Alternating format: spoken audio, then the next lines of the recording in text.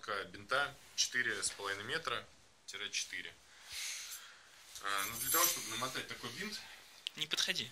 для того, чтобы намотать такой бинт, а, одеваем петлю на большой палец руки. Я обычно еще делаю один оборот вокруг кисти, перед тем, как начать полный оборот. И дальше начинаем. А, Дальше идет закрутка на большой палец руки. Делаем закрутку.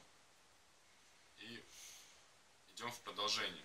Часто ошибка, что де- делается закрутка и идет в обратную сторону. Но здесь нужно как бы все в одну сторону мотать. А, Большой палец очень подвержен всяким разным повреждениям, и поэтому обычно я скручиваю его два раза. То есть я делаю две такие закрутки на большом пальце. И после того, как мы это все смотали, начинаем мотать руку, точнее пальцы. Сразу прямиком переходим к указательному. Де- де- э, палец указательный держим прямо. Делаем оборот.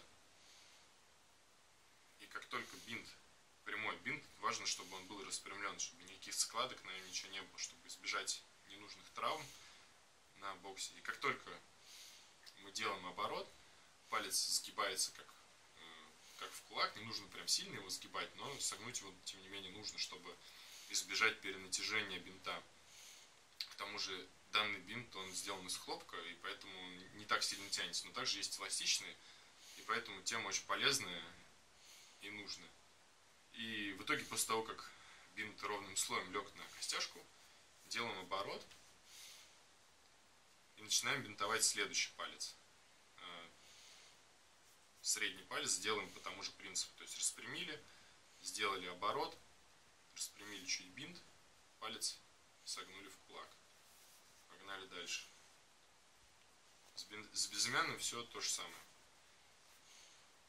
Обернули, согнули в кулак. А с мизинцем могут быть поначалу некие трудности или проблемы или во- вопросы из-за того, что а, угол бинта и угол мизинца очень острый, поэтому здесь наматывать нужно, когда делаем оборот вокруг мизинца, чтобы бинт был чуть-чуть в, нате- в- в- в натяг. Но, тем не менее, чтобы он ничего не передавливал. Чтобы ровно лег на мизинец, обернули, также привели. Чтобы закрепить всю эту конструкцию, а, я делаю оборот вокруг кисти, чтобы не слезала вот эта вот часть, которая как раз таки шла на мизинец. Видно, что она держится очень хлипко, да, и то есть в а, спаррингах или в пятнашках, когда не нужны перчатки, она вполне себе может слезть. Для этого я ее фиксирую полным оборотом и перехожу на фиксацию всего великолепия, которое получилось сверху. Так, значит, фиксируем э, верхние э, обороты. Фиксируется так, то есть э, бинт уходит на внутреннюю часть и ложится сверху, ложится при этом так, чтобы собой не накрывать костяшки. То есть, как сейчас он лежит, это правильный вариант, но если он может быть вот еще чуть-чуть вот так вот даже, то лучше э, размотать и перебинтовать правильно, потому что в процессе того, как рука сжимается в кулак, бинт будет уходить все ниже, ниже, ниже, и в итоге он потом вообще сползет, а разматывать и заматывать, ну, тот еще геморрой во время тренировки.